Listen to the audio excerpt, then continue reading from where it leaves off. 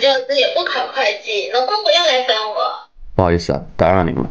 这边是点歌台的，有位姓李的朋友给您点了一首歌。啊？嗯，不不好意思，我以为你是推销的。他说好久不见，你还好吗？我始终走不出来，我真的好想你。直到现在我才明白，原来比起失去你，我更害怕别人拥有你。我突然意识到自己之前怎么那么傻，弄丢了最可爱的你。直到现在才明白，最爱的人是你。可以原谅我的后知后觉吗？但我真的不想就这样跟你错过。我知道空出来的位置，迟早会有人代替。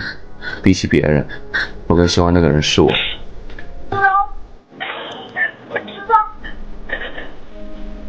我们先哭一会儿，没事的。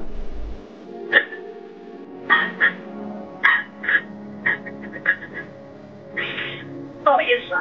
没事，待会我再给您唱一个歌。开始到现在，我都不是你的例外。但明白我没有资格去谈爱不爱，我不会再打扰你了。你是不是也很期待？我口说这句只是换来的一句活该，可时间扑面而来，你要我怎么释怀？